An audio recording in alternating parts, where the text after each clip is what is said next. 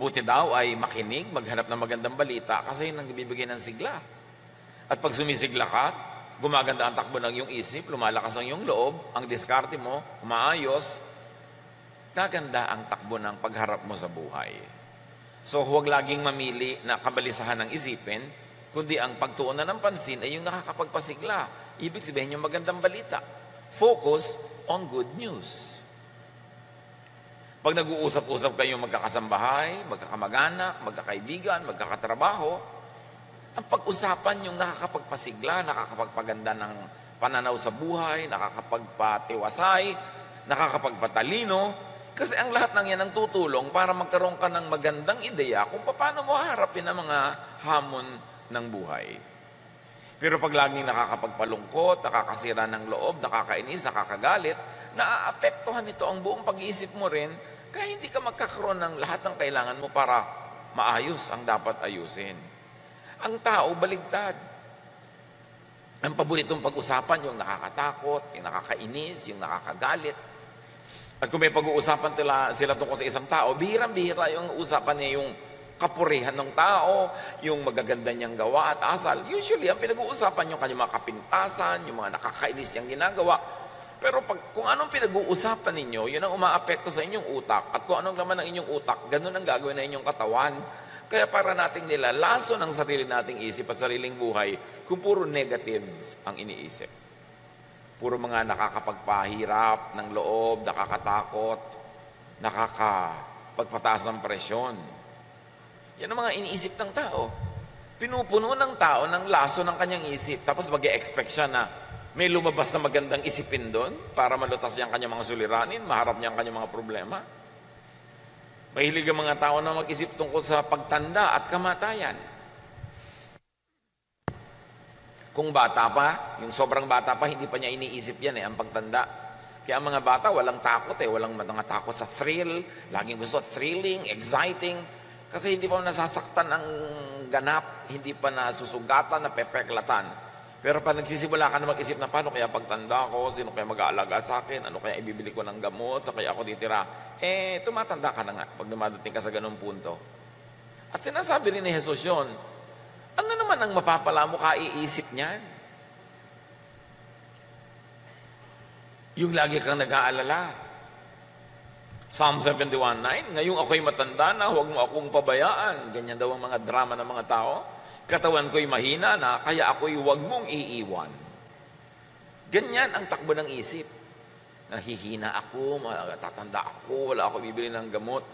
Ang dami namang tao sa paligid natin, nagtandaan, at sa katandaan nila, nangamatay, nailibing naman, maayos naman. Bakit naman ikaw ay hindi magkakaganon eh, anak ka ng Diyos?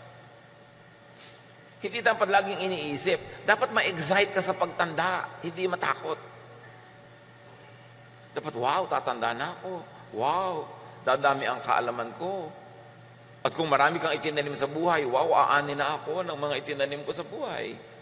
Pag dumarating ang gabi, matutulog ka, sabi naman tatanda, ay gabi na naman, isang dahon na naman ang nalaga sa tangkay ng panahon.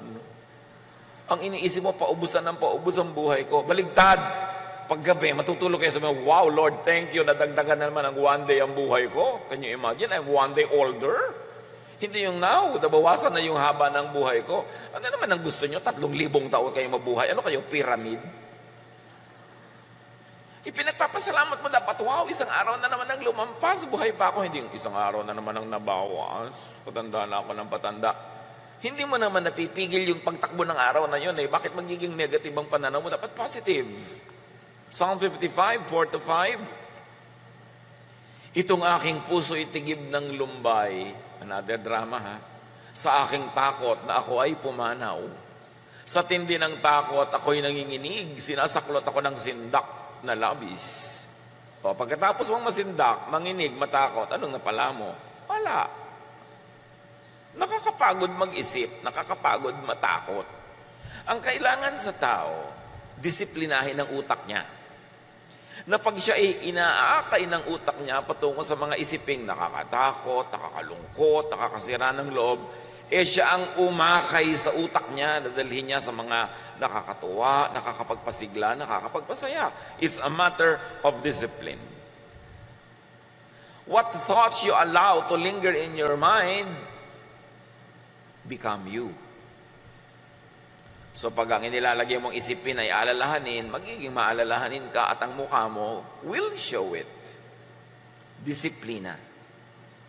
Sabi nga ni Martin Luther, you cannot stop birds from flying over your head, but you can stop them from nesting in your hair. Hindi mo naman talaga mapipigil kung may ibong lumilipad sa himpapawarin, dumaan sa ibabaw ng ulo mo. Kasi malayo, hindi mo mapipigil. Pero mapipigil mo ang ibon na yun na magpugad sa buhok mo. Ganon din yung mga negative thoughts. Minsan, tumatawid talaga sa isip natin, biglang parang jet na umuusok dyan sa langit, pero pwede mo namang itaboy. Pag nagsisimula ka ng magdramang bukid, itaboy mo yung drama. Yan ang problema sa atin, ang daming drama, puro drama. Wala namang napapala, nalulungkot lang, natatakot, humihina ang loob. Yan, at iba pa, marami pa tayong mga ibang isipin na puro mga pampabigat. Pero ang totoo, wala namang mabuting idudulot ang pag-iisip. Wala. Anong buti ang idudulot ng pag-iisip? Walang mabuting idudulot ang pag-iisip. Ulit-ulitin natin yan sa ating sarili itaboy ang nagpapalungkot, nananakot ng mga ideya. Ecclesiastes 5.3, ang panaginip ay bunga ng maraming alalahanin. Sabi na, may nanaginip po ako, ano kayang kahulugan? Walang kahulugan yon. Isip ka kasi ng isip. Kaya nung tulog ka na, tumuloy pa yung isip mo. Kaya yung mga mano, matutulog na lang, manonood pa ng horror, tapos nagtataka, bakit po kaya ako laging binabangungot? Nagtaka ka pa. Alam niyo ba yung isip natin, pwedeng-pwedeng kausapin yan? Sabihin mo sa isip mo, may problema ako, hindi ko alam ang gagawin. Alin bang pipiliin kong solusyon na naiisip ko? One, two, three? O yung hindi ko pa alam, pero may solusyon number four pala. Matutulog ako, isip.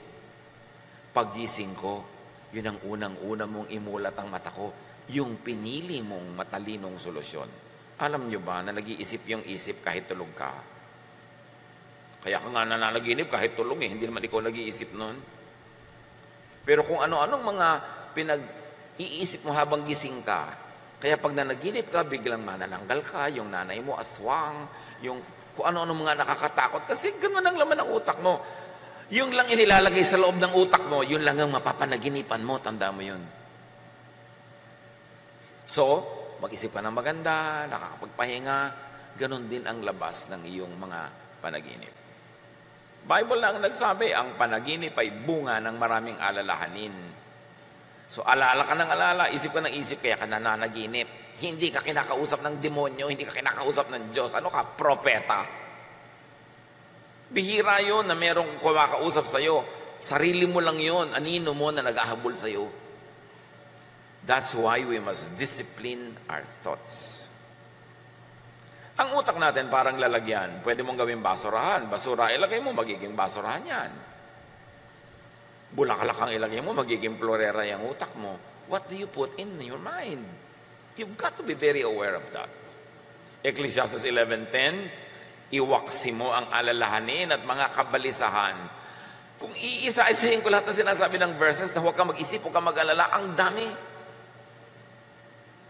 So focus on something else. Pag sinabing iwaksi mo ang alalahanin, ibig sabihin, tanggalin mo sa utak mo yan at palitan mo ng iba. It's your choice. Napipili natin ang inilalagay sa ating isip. Importante na maging mapili. At turo ni Jesus, huwag mag-isip ng mag-isip. Nang ibig sabihin lang naman ay, huwag mag-alala. Isaiah 26.3, binigyan mo ng lubos na kapayapaan ang mga may matatag na paninindigan at sa iyo'y nagtitiwala. So may paninindigan ka. Maninindigan ka, hindi ako magwo-worry. Hindi ako mag-aalala. Hindi yan ang bibigyan ko ng pansin.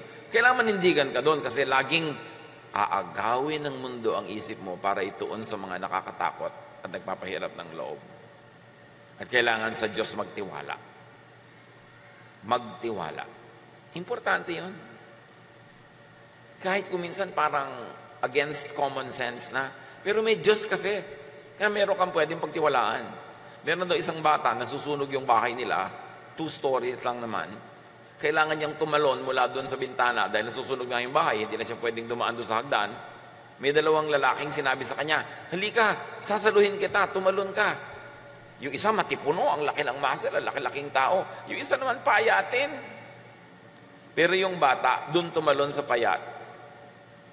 Kasi tatay niya. Mas nagtitiwala siya, tatay niya eh. Alam na alam niya na talagang aalagaan siya kasi yung matipuno, hindi naman niya alam, hindi niya tiyak. Ganun ang tatay natin sa langit at hindi siya payata, payatot. Dapat pagtiwalaan. Kasi sabi niya, I will never leave you. I will never forsake you.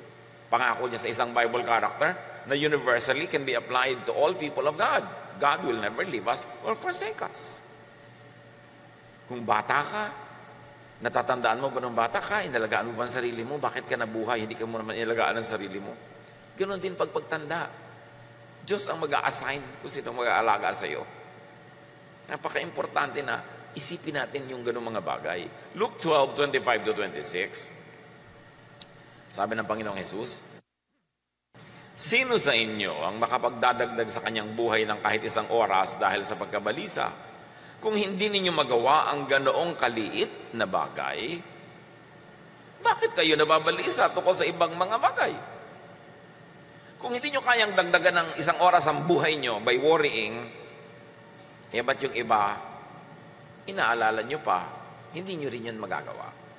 Sayang ang effort. Sayang ang pag-iisip. Ang tanong ngayon, paano iiwasan?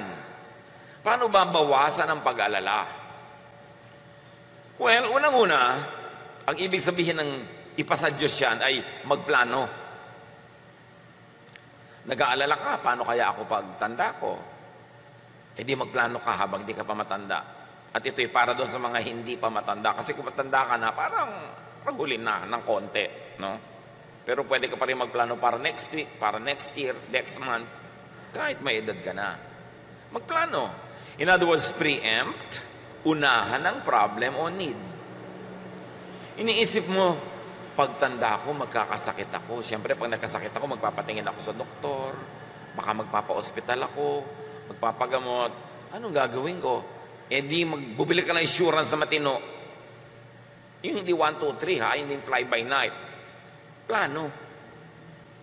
O ayaw mo ng insurance, hindi ka naniniwala. Gumawa ka ng isang alkansya na kasing laki ng jeepney, hulugan mo ng barya, at ipanalangin mo huwag ma-demonetize yung barya mo. Baka naman yung pe- pera mo may nakalagay pang victory. Panahon pa ng hapon yun.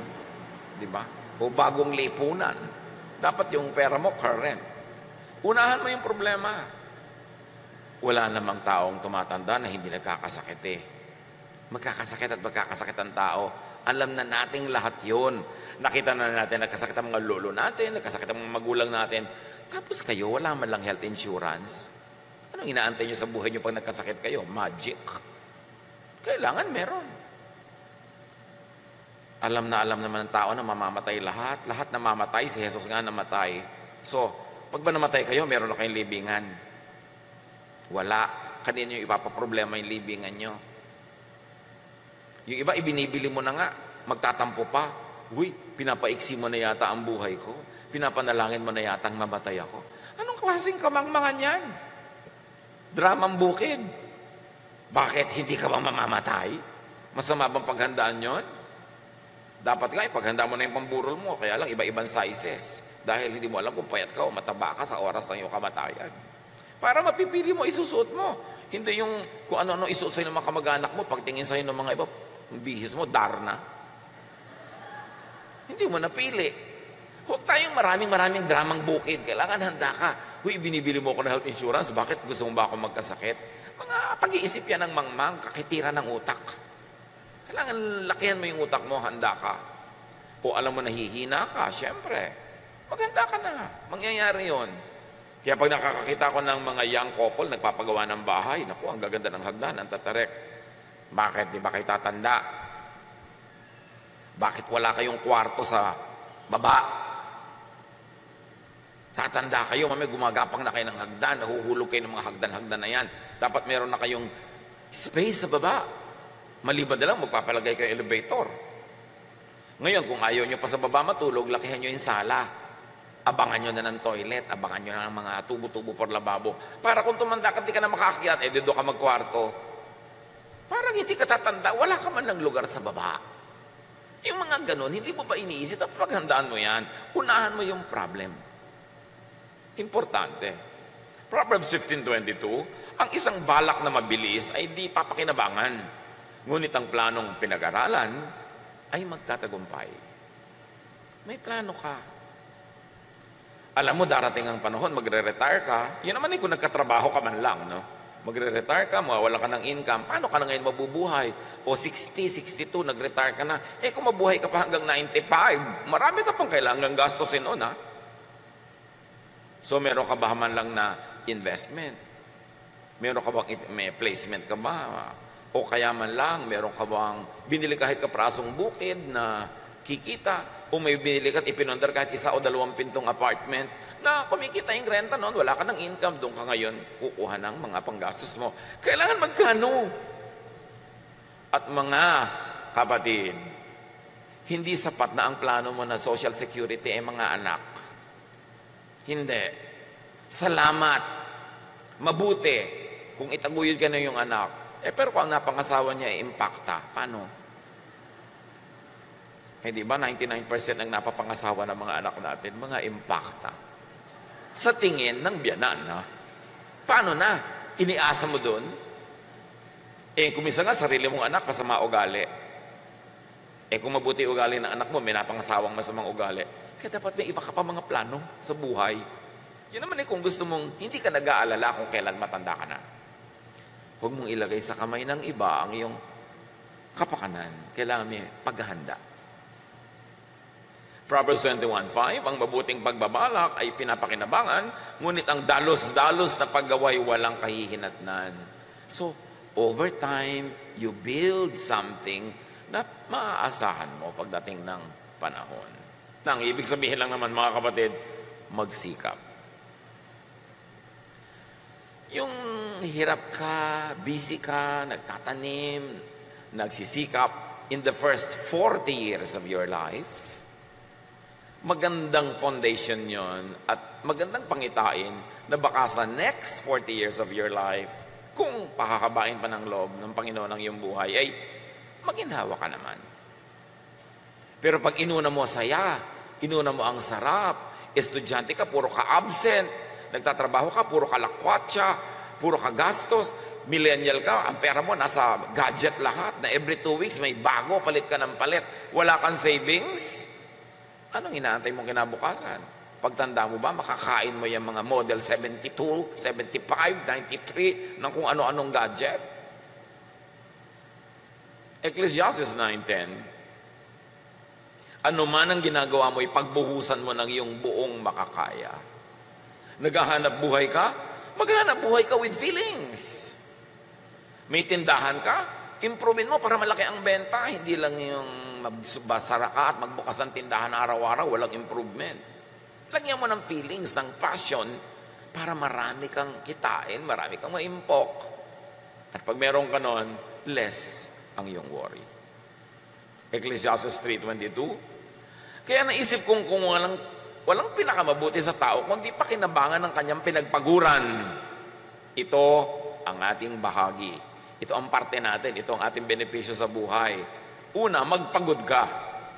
Tapos, pakinabangan mo ang iyong pinagpaguran. Huwag mong pakinabangan ang pinagpaguran ng iba. Ganun, magpunter ka. Proverbs 10.4 Ang kamay na tamad ay tiyak na magdarahop. Ngunit magbubunto ng yaman ang kamay na masinop. Yung pag nagkapera ka, gastos ka agad. Wala ka nang trabaho, umaasa ka lang sa magbibigay sa'yo. Pag nahipo mo yung pera, lipad ka agad, gastos. Bukas, wala na naman. Ito yung nagbibigay sa'yo, eh, nasa gasaan ng tren. Paano na? Lalo kung tren dito sa Maynila ang nakasagasa sa'yo, hindi naman nasagasaan ka dahil sa bilis ng tren. Kundi sa bagal ng tren, tatlong araw na nasa ilalim ka pa. Kaya talagang tiyak na mamamatay ka. Tapos puro pakalawang, natetano ka pa. Yun ang ikinamatay mo. Kaya sabi, kailangan huwag kang tatamad-tamad. Ang daming tao, umaasa lang sa iba. Inaasang abutan, inaasang bigyan.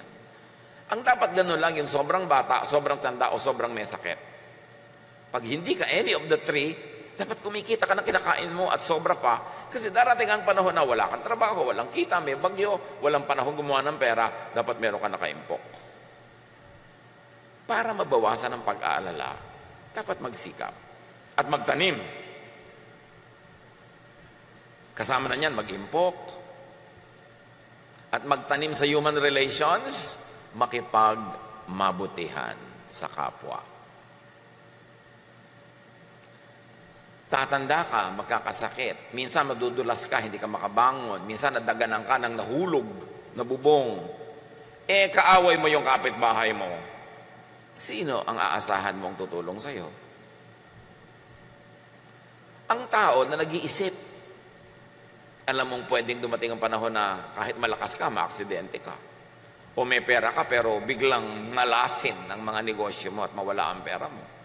O magkaroon ka ng mga sakit kung matalino kang tao, makikipagkasundo ka, hindi ka makikipagkagalit sa mga kapitbahay, sa mga kamag-anak. Kasi doon ka aasa ng tulong sakaling hindi mo makayang tulungan ng iyong sarili.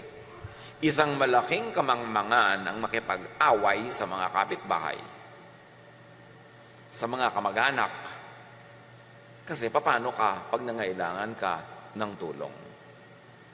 Dapat mabait, mabuti. Kahit peke ng konti. Kesa yung totoong totoo ka, pero ang katotohanan mo, ang sungit-sungit mo, ang bangis-bangis mo, itago-tago mo ng konti yan. Magpanggap ka ng konti. Magbait-baitan ka man lang kung hindi ka tunay na mabait. Para naman, hindi ka lang, hindi gagawa ng masama ng kapitbahay, kundi makagawa ka pa ng mabuti. If we come to terms with our mortality, with our weaknesses, with our limitations, we will be wise enough to invest in human relations. Kasi kahit may pera ka sa bangko, kung na-paralyze ka bigla, hindi ka makaka-withdraw. Somebody has to do it for you. Pag na-hospital ka na, hindi ka na makakita na, puro tubo na yung leg mo, nakatali ka na halos sa kama, hindi ka makapagbilang ng pera kahit may pera ka. Somebody has to do it for you.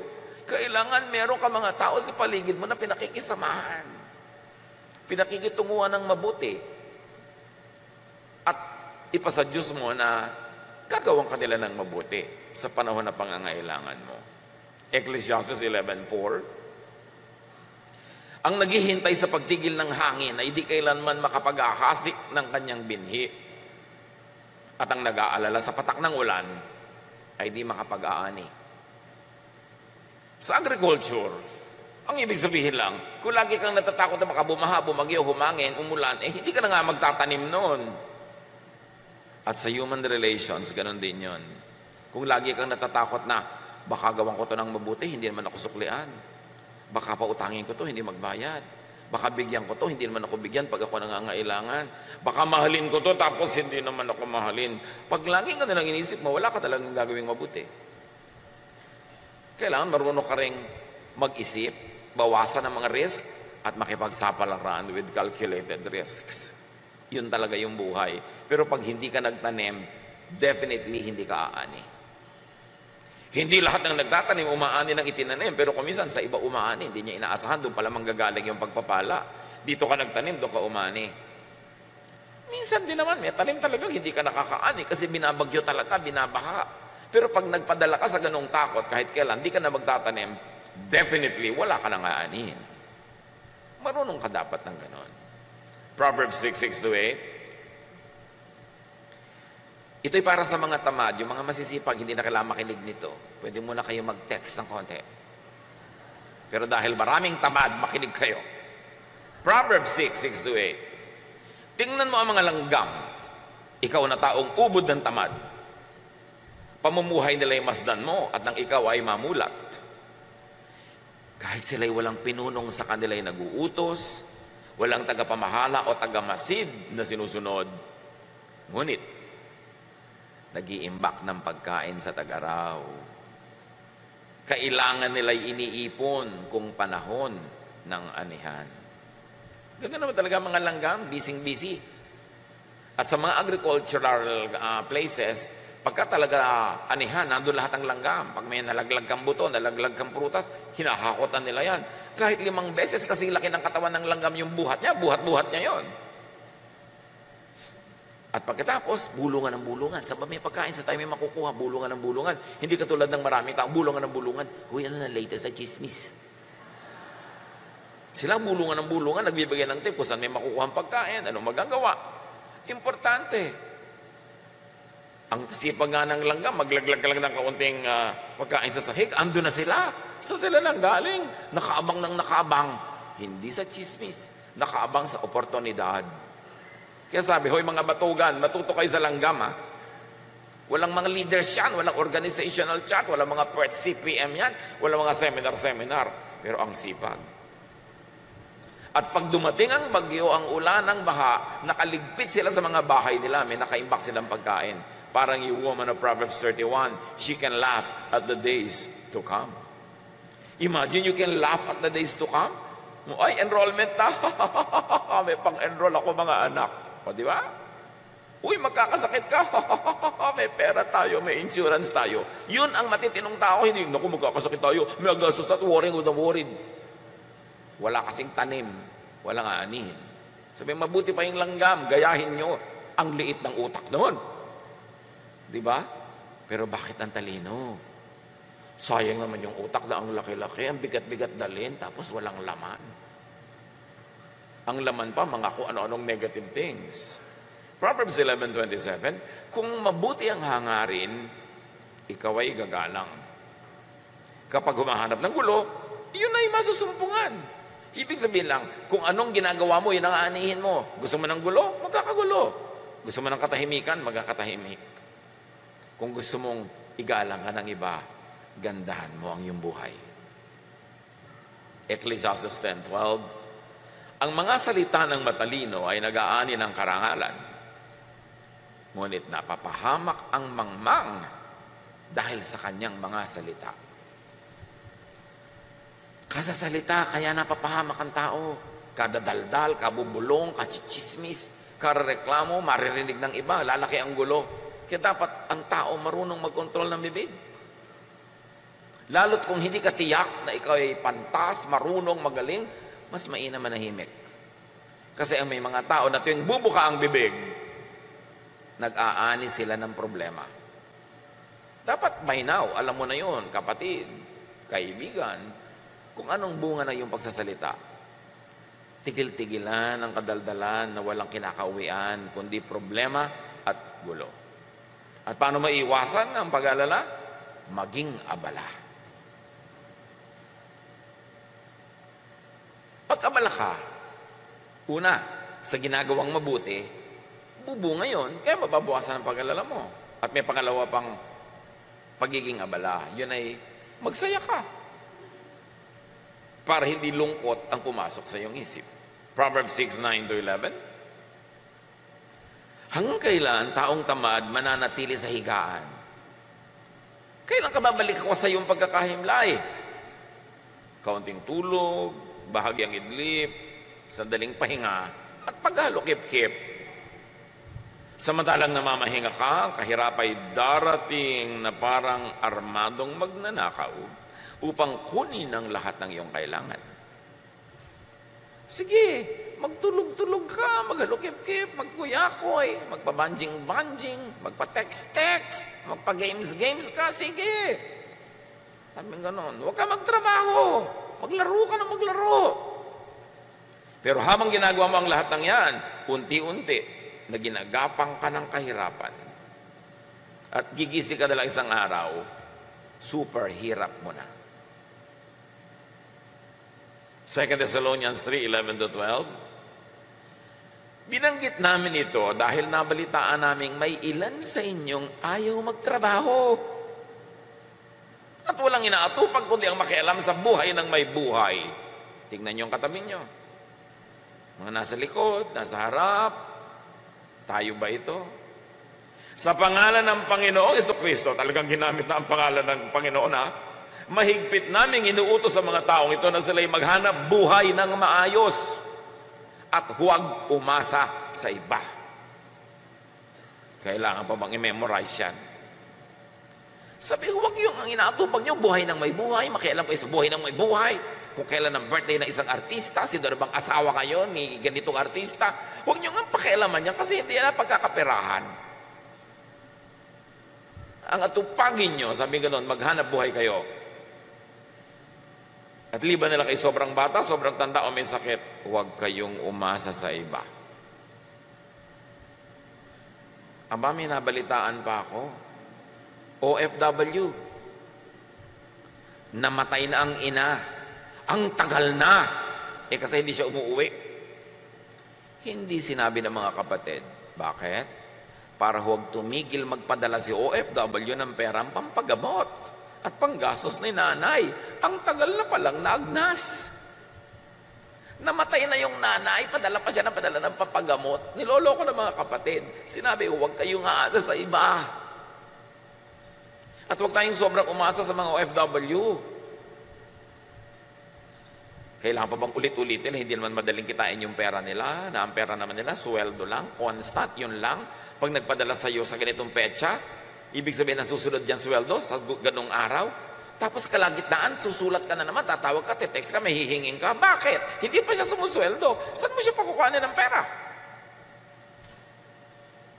Tapos uutang para magdebu, uutang para mag-birthday, mag-party, mag-baile, mag-inuman. Ang inuutang mo lang dapat yung pampuhunan na pinag-aralan mo, natutubo. Kikitain mo yung pambayad sa utang. Pero yung uutang ka para lamang pang-arte, pang-gastos, isang malaking kabaliwan. Tapos iba yung nagbabayad. Laging gusto mo gadget na ganito, gusto mo ganung original pa, gusto mo pa branded. Bakit kinita mo na ba kung hindi pa? Nakarating ka na ba sa Divisoria? Doon ka mamili ha, kung wala ka pang masyadong kinikita. Huwag na gusto mo pa doon sa mga mamahalin. Deserve before you desire. Yung ang forma-forma mo, branded ang mga damit, branded ganyan. Tapos wala ka namang income, saan mo kinuha yun? May ibang nagbayad. It is ungodly. It is not good. Kaya yung matinong babae sa Proverbs 31, sabi sa verse 18, She knows when to buy or sell, and she stays busy until late at night. Yun yung babaeng who can laugh at the days to come. So marami na tayong sinabi tungkol sa pagtatrabaho, pagtatanim, paggawa ng mabuti para huwag magalala, di ba? Yun ang topic natin, para huwag magalala. Meron pa namang isang para huwag magalala, maglibang. Tagalog ito ha, hindi yung Bisayang maglibang. Maglibang, magsaya. Kailangan din yun, mahalaga yun. Lalo't kung hindi mo nun uutangin, hihingin yung panglibang na Tagalog ha. Yung mga Bisaya lang nakakaintindi ng joke. Ecclesiastes 5.18 Ito ang isang mabuting bagay na aking nakita. Nararapat lamang na kumain, uminom, pakinabangan ng isang tao ang bunga ng kanyang pinagpaguran sa mundong ito sa maikling panahong ibinigay sa kanya ng Diyos. Ito ang ating bahagi. Sabi, alam mo, huwag ka kalimutan magsaya, maglibang, uminom, kumain lalot pinagpaguran mo naman bunga ng pagod mo. You know, huwag kang puro dusa, puro hirap. Naman dapat mag-enjoy sa buhay? Para balanced. Ang buhay parang bangko. Pag nag-deposit ka ng maraming saya, sa oras na hindi ka masaya at malungkot ka nga, pwede kang mag-withdraw doon sa mga na-deposit, na-deposit mo noon. The many happiness and joys and pleasures you've had in life can strengthen you in times of sorrow naka-deposit kasi yun. Mag-deposit kayo ng kaligayahan sa puso nyo. Enjoyment, basta hindi ninanakaw. Ecclesiastes 6.9 Mabuti pa ay masyahan sa anumang kalagayan kaysa mangarap ng di naman makakamtan. Ito man ay walang kabuluhan tulad ng paghahabol sa hangin. So isa pang itinuturo, learn to be contented with what you can afford. Kesa isip ka ng isip ng hindi mo naman kaya, hindi mo abot, enjoyin mo yung kaya at abot mo ngayon. Ecclesiastes 8.15. Kaya para sa akin, ang tao ay dapat magpakasaya sa buhay. Walang pinakamabuti kundi kumain, uminom at magsaya. Ito ay magagawa niya habang siya ay nabubuhay at nakapagpapagod sa mundong ito. Punctuate your days of work with pleasure, with happiness, with many vacations. Reward yourself and people who help you with pleasure, godly. Marami kasi mga tao, akala nila pag makadiyos ka, puro ka na pagpepenitensya, paghihirap, pag-aayuno, pagdurusan. No. God loves us. God is kind. Kaya niya tayo pinagtatanim para tayo umani. Hindi tayo parusahan. Kaya kung nagtatanim ka na, dapat umani ka. Mga kapatid, huwag niyong aagawan yung taong umaani ng tanim niya. Minsan sabi ko, ang sarap-sarap naman ng buhay niya, laki-laki ng kita ng tindahan niya. Kasama ka ba nung ipinandar niya yon? Na ang tinda lang niya, isang pirasong lumpia. After one week, dalawang pirasong lumpia. Ngayon, isa na siyang lumpia queen. Tapos gusto mo ngayon makihalo sa kinikita niya, kasama ka ba niya sa hirap? So, dapat pinagpaguran mo yan. Importante, napayagan natin yung mga nagtanim noon na anihin nila yung tanim nila. Huwag kang makiani. Kung pamisa-misa, nabibigyan-bigyan ka, salamat. Huwag kang maiinggit sa mga taong, ang laki ng negosyo niya, ang laki na ng kita niyang pinsan niya na yan. Yung may inggit-inggit. Pero pinaghirapan nila yon. Deserve nila yon. Do not covet what is not yours. Kaya halimbawa, mga anak, tanim kayo ng mga magulang niyo eh. Dapat paanihin niyo sila. Kasi tanim kayo. Mga manugang, yung napangasawa ninyo, tanim nyo ng magulang niya, ng biyanan nyo, paanihin niya yung biyanan nyo. Yung mga magulang nyo rin, paanihin nyo rin. Lahat ng tumulong sa inyo sa inyong buhay, kaya sino pa yon, kaya malaki o maliit na tulong, kailangan pagkaya nyo na silang bigyan ng ani, paanihin nyo. Kasi tanim kayo eh. Yun ang kalooban ng Diyos, ang itinanim, inaani. Napakasama yung wala kang utang na loob. Yung tinaniman ka, wala man lang mapitas sa'yo wala man lang mapakinabang sa'yo, samantalang binigyan ka ng pagod, hirap, lahat-lahat. Ganun ang taong makadiyos at desente. Lahat ng tumulong sa'yo, tutulungan mo rin. Lahat ng naghirap sa'yo, susuklian mo. Ibayo pa doon kung kaya mo pa. Ganun ang pagiging makadiyos. So matapos mong magtanim, mag-invest, magplano, ipasa Diyos ang lahat. Nagawa mo na yung dapat mong gawin Halimbawa, nagtanim ka ng buto, huwag mong hukayin bukas para tingnan kung tumutubo. Diyos ang magpapatubo. Pero ikaw magdidilig, ikaw mag-aalaga. So, ipasa Diyos mo na pag nagawa mo na yung balak mo. Katulad na marami mga magulang, paano kaya lalaki ang anak ko, lalaki kaya ang matino? Habang bata, turuan mo ng turuan, at pagkatapos, bahala na sa kanya ang Diyos. Nagtanim ka na eh. Sabi sa Bible, train up a child in the way he should go, and when he is old, he will not depart from it. So huwag nang problemahin yung pagiging old niya. Na taniman mo nung yang, yun ang magiging siya. 99% of the time. So, imbes mag-alala ka kung paano siya lalaki, pata, palakihin mo ng tama ngayon. Yung first 10, 15, 20 years ng bata na nasa piling mo, taniman mo ng lahat ng mabubuti, sipag, kabaitan, pagiging makadiyos, makatao, at pagkatapos nun, pawalan mo na, magbubunga na itinanim mo. Pero kung itinanim mo, eh, pinabayaan mo, negative, sinindak mo, tinakot, ginawa mo, dinepress mo yung bata, may bunga din yan. At aani ka rin yan, kasi yun ang tanim. Ang itinanim, inaani. Psalm 23, 1 to 3, You, Lord, are my shepherd. I will never be in need.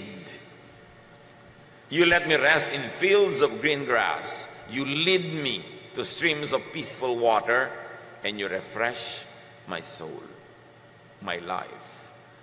Sa so, Panginoon, dinadala niyo ako sa mga luntiang mga damuhan, dinadala niyo ako sa mga payapang batis, at hindi lang yun physical, very especially mentally. Let the Lord take you, your thoughts, your brain, to realms of peace of serenity, of rest. Mental discipline yan, and let the Lord lead you. Proverbs 3, 5 to 6. With all your heart, you must trust the Lord and not your own judgment. Always let Him lead you, and He will clear the road for you to follow. Laging kasama ang Panginoon. Pangungunan niya, pagtuturo niya. Proverbs 31:25, The woman who is full of wisdom, she is strong and graceful, as well as cheerful about the future. She is not scared of the future. She is cheerful about the future. Why? Because she planted in time. Kung anong dapat itanim, itinanim niya. Nagiintay lang siya lagi ng ani. At kung umaani siya ngayon, nagtatanim pa uli siya sa iba, para bukas may iba na naman siyang aanihin. Philippians 4, 6 to 7. Huwag kayong mabalisa tungkol sa anumang bagay. Sa halip, hingin niyo sa Diyos ang lahat ng inyong kailangan sa pamamagitan ng pananalangin may pasasalamat.